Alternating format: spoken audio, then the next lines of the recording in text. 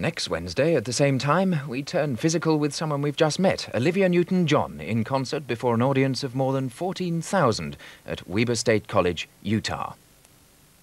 The new edition of Radio Times features a new series of international pro celebrity golf from the King's Course Gleneagles. A galaxy of celebrities are led by Tom Watson, partnered by James Hunt, Gareth Edwards, Kenny Lynch, Cliff Michelmore, James Bolam, Sean Connery, Henry Kelly, and Ronnie Corbett while the other resident professional, Australian Greg Norman, has the support of Christopher Lee, Henry Cooper, Bruce Forsyth, Peter Cook, Richie Benaud, Hurricane Higgins, Eric Sykes, and Terry Wogan. Peter Alliss commentates on the play starting this Sunday on BBC Two and explains to Radio Times the secrets of the programme's blend of entertainment and sport.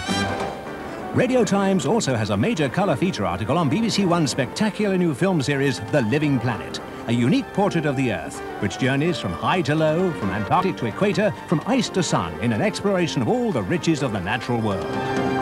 The mysteries and beauties of the living planet, revealed in a new series by David Attenborough, starting next Thursday on BBC One and featured on the cover of the new Radio Times.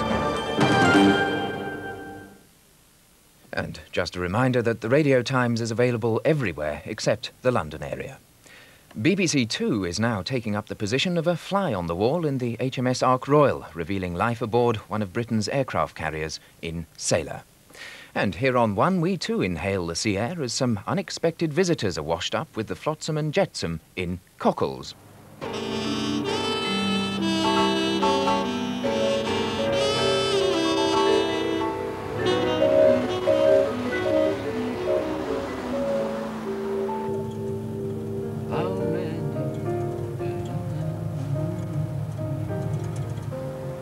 Far now?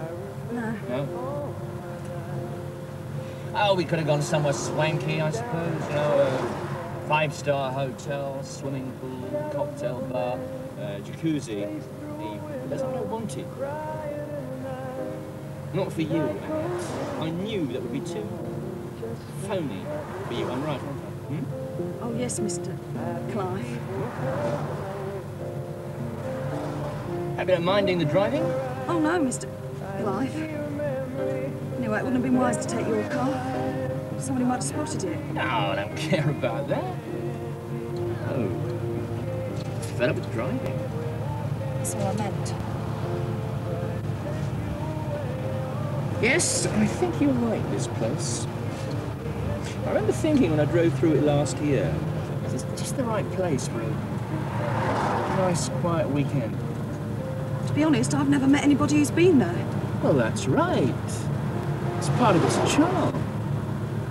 Nobody we know goes to Cocklesea.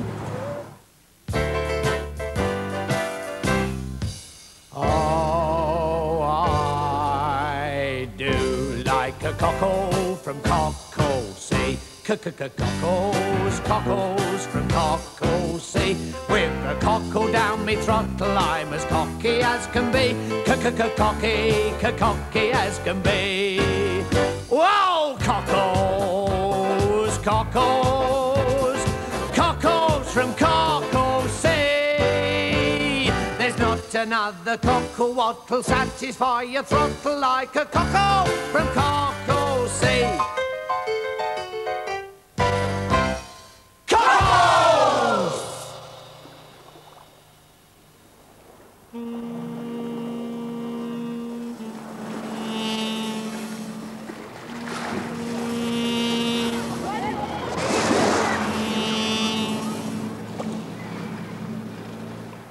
Very good, George. You seem fatter than usual. Local, those are, Jack. Don't get many of them. They are plump, though. Must be something they ate.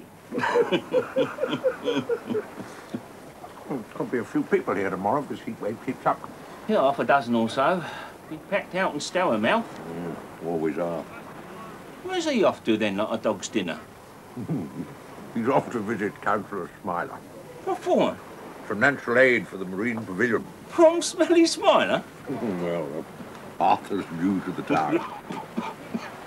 These are really beautiful, George. Try one. No, thanks, Jack. I never touch them thank you